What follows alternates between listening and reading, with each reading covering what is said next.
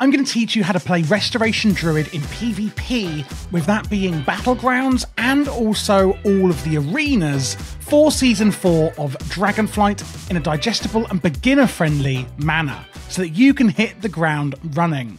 We're going to start off with the stat priority.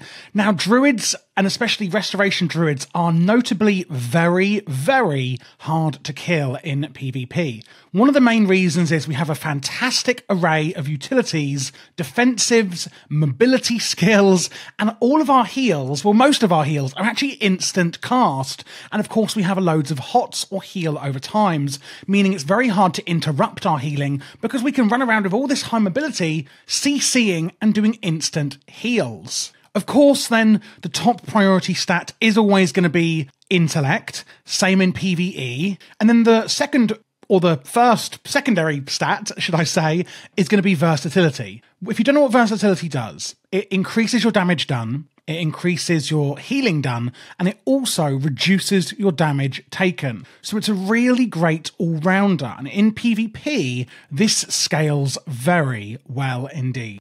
Our next one is mastery. What Restoration Druid's mastery is, is that for every single hot we have on the target, so if we've got one hot versus three hots, it means that all of our other heals are going to do more healing for the more heal over times we have on the target. We have got certain abilities that are actually going to put a ton of hots on the target all at once, that obviously being our ally, and generally we're just putting loads of them on our targets anyway. Considering that there's usually, especially in Arena, hardly anyone in there compared to a raid, it means that we can get a lot of hots up on the people that are actually around us, whereas in Raid we struggle getting it up on everyone. After that, it's haste and then critical strike. Regarding the rest of the gear that you should be getting, I'm not going to go too far into like BiS gear or anything like that, especially if you're a beginner, you might be in your PvE gear anyway, but it is really important that you do try and pick up both PvP trinkets. These can give you a massive advantage, especially as one of them is going to be on use to take you out of any CC that you may have on you. Apart from that, the only other thing I'll say on the gear is that it is really important, of course, and will give you a huge PvP advantage if you do have your 2 and 4 set from this season. For the talent tree, this is the build I would recommend for beginners to PvP, and I will put an import string down below in the description for this one. As always, I'm not going to talk about every single individual talent. This is a video generally for beginners and people just getting their toes wet, but I will now talk about the important ones. We have Cenarion Ward here. This is a shield absorb you can put on someone on a 30 second cooldown. It's instant, and this is really great when we're on the move. It does also scale with your mastery, and it is going to be a heal over time as well, and therefore it is even more powerful in smaller teams like 2v2 or 3v3 arena. Another one here is Soul of the Forest. Basically, when you use your Swift Mend spell, which I'll be going over shortly, your next spell, whether that's a wild growth or regrowth, will be massively increased on the healing it does. We can use this to get out a massive single target regrowth to our allies in the arena and this again is going to give us a large advantage. One of my other absolute favourites is Overgrowth here. This is going to apply Life Bloom, Rejuvenation, Wild Growth, and Regrowth's heal over times onto an ally. It is on a 45 second, sorry, it's on a one minute cooldown. Don't know where I got 45 second from. I wish. It is on a one minute cooldown. However, this is fantastic. Remember, I said that our mastery, which I'll read out here, your healing is increased by X amount for each of your restoration heal over time effects on the target. So basically, when you use overgrowth, you can see on my VuhDo healing bar here, it's put four heal over times on me. I could then use Cenarion Ward and get a fifth one on there. But basically, overgrowth is a fantastic way of maxing out your mastery and getting a load of heals on someone, especially if they are being targeted by your opposing team's DPS. If they've just used their cooldowns and they're trying to nuke your teammate down or you down, this is a fantastic spell at getting a ton of heal over times up on them really, really quickly. For the PvP talents, don't forget you've got these three down here. And I would really say that it depends on if you're doing battlegrounds or arena on which ones you take here but they can make a very large difference. So I'm going to show you some of the important ones and kind of let you make your own choice on these as it really isn't one shoe fits all when it comes to player versus player. One of my favorites here is focused growth. Reduces the mana cost of your life bloom, by 8%, and your Life Bloom also applies focused growth to the target, increasing Life Bloom's healing by 8%, and that stacks up to three times. So Life Bloom is here, healing the target over 15 seconds. When Life Bloom expires or dispelled, the target is instantly then healed. And we can only have that on, on one target at a time. And it does count for three stacks of mastery um, as well when you use it. So when we use this over and over again on the same target, we're going to be stacking up an extra hot on them called Focused Growth. Another one here is Keeper of the Grove. Tranquility protects you from all harm while it is channeled and its healing is increased by 20%. So this is Tranquility here. It's a channeled spell, as you can see, which could be easily interrupted. And considering it's on a large cooldown, we really want to make sure that, doesn't happen. So if you are being targeted, you can use your Tranquility with this talent to channel and heal yourself and your allies nearby, and it's going to protect you from harm. I mean, you can get out this big healing cooldown without having to worry as much about having to channel it and being, of course, in danger. For the third one, there's a few options. Like I said, it's really kind of up to you.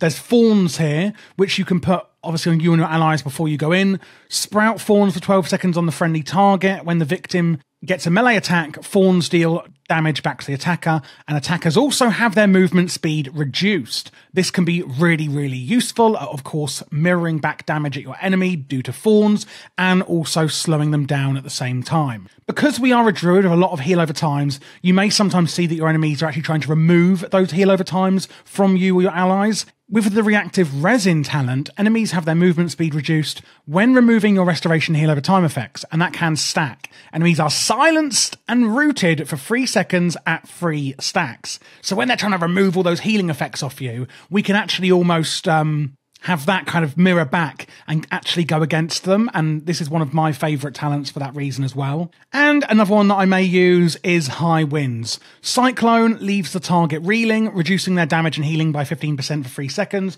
Cyclone is this talent over here. You can toss the enemy target into the air, disorienting them, but making them invulnerable to up to six seconds. Only one person can be effective with it at a time. What I like to do with this one, especially in arena, is if my teammate is going ham and using all their cooldowns and trying to blast the enemy down, if that enemy has a healer, I will use Cyclone on them to incapacitate the healer so that we can do all of our damage on the selected target. Then, after Cyclone ends, that's where the high winds come in because, you know, they come out of cyclone and then still their healing is reduced for a few seconds, meaning they're still not as effective. And this kind of double whammy here, I can find is really, really useful when you are trying to burst somebody down and they've got a healer backing them up. Now let's look in the actual play style and how we're going to bring it together for different situations. So let's say we're in arena and the gates are about to open. What are we going to do first as our opener to prepare for the fight that is about to start? Well, I've actually tried to separate my action bars here into a, free, a few different kind of chunks. This is our opener here. We've got some utilities over here, and this is our kind of core gameplay we'll be looking at. And if you are looking at my UI, by the way, and you think, oh, I want a bit of that, then feel free to join my Patreon, which is in the description below. It supports the channel, of course. You're going to get a lot of beginner resources that I've made and guides that I've written in my Patreon only. And you can also ask advice in the in the PvP, sorry, not PvP, VIP um, Patreon only channel in Discord. And of course, it supports the channel. So this is our kind of opener over here. We've got overgrowth, which I spoke about before. When we're going in, what I like to do is I like to wait and see who they're targeting and put the overgrowth on them. Because of course, if you put it on someone and then the opposing team targets someone else, you've basically wasted all of your overgrowth. So when they are trying to burn someone down, etc., this can be really good to put on them. We can then go into cat form and go into stealth using prowl, of course, meaning the enemy team can't see where we are. This is fantastic for getting, you know, wherever we want to be. And then, as I spoke about before, we can use cyclone, throwing the enemy up into the air. You can't really see it on the target dummies, unfortunately, um, and then reducing their healing and damage afterwards if you have taken the high winds talent. Now, this is really, really good, as I said, for getting a healer out the way if you're trying to nuke somebody else down. And another one we've got here is Mighty Bash, and on a woman at cooldown. And although it's a paw, and you may think it needs to be in bear form, etc., as you can see here, you actually don't need to be in bear or cat form to use this. You can use it in any form. Invokes the spirit of Ursoc to Stun the target for four seconds, usable in all shapeshift forms. And lastly, one other thing you can do when going in, if you've noticed that they're going in on one specific target, is using Iron Bark. The target's skin becomes tough as ironwood, reducing damage taken and increasing healing from your overtime effects. That means that if you are using Overgrowth on that same person, Iron Bark can kind of increase the healing of all those effects that you've put on with it. Allies protected also receive 75% of the healing from each of your active rejuvenations. And of course, the only other thing we can use is um, Cenarion Ward to absorb that damage on them and get more healing from the mastery as well. So that's the kind of opener. Um, depending on if somebody's about to get nuked down, if you're in arena, etc. If you're in a battleground and you've got about a you know ten mile run ahead of you just to get to wherever the combat is, obviously we're not going to be doing a lot of this, um, but it's still seen as an opener when you kind of get there. If you see that one person is being targeted, etc. Really depends on the situation. So now we're going to go through the actual techniques in the healing we're going to do. First up is Incarnation Tree of Life here, shape shifting into the Tree of Life, increasing healing done by 15%, massively increasing your armor, and granting protection from any polymorph effects, like if you're up against a mage. Functionality of rejuvenation, wild growth, regrowth, entangling roots and wrath is enhanced. It just makes all of your spells better. Regrowth here is instant cast when we're in it.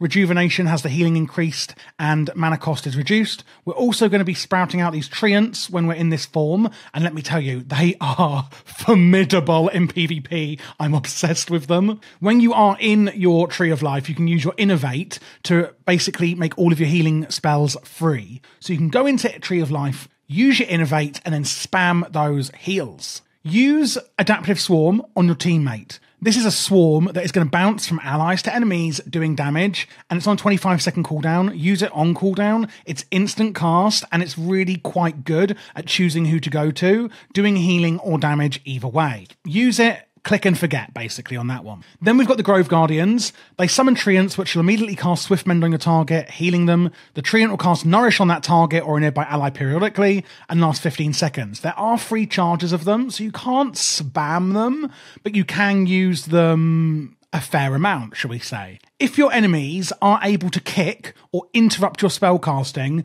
these are instant, and therefore these are really good at getting up when your enemies are kicking your spells, interrupting your spells, or you're in periods of high mobility but need to get a lot of healing out. You can do this obviously in multiple people. They can't really do anything about your treants um, because they're not you. So these are really, really formidable uh, tool that we do have in our toolkit. Then we have kind of just our general spells I'm going to talk through. Swift Mend, consuming a regrowth, wild growth, or rejuvenation on an ally um, will do big healing. So if we have a regrowth, say, on us, you can see my VuhDo, I get this red dot. I can then absorb that Swift Mend to do healing to myself. Once you use that Swift Mend, you're going to get a buff called Soul of the Forest, which we spoke about earlier, where a Swift Mend increases the healing of the next regrowth. So we can then use regrowth after using a Swift Mend to get out a massive single target heal on people. You can use it on wild growth, but I prefer to use it for single target healing. Maybe if you're in like a, a an epic battleground. You could use it on wild growth, um, but I find it much more efficient to use it on regrowth to get a lot of big single target heals out. Same with Nature Swiftness. Your next regrowth or entangling roots is instant free and castable in all forms and heals for an additional 135%.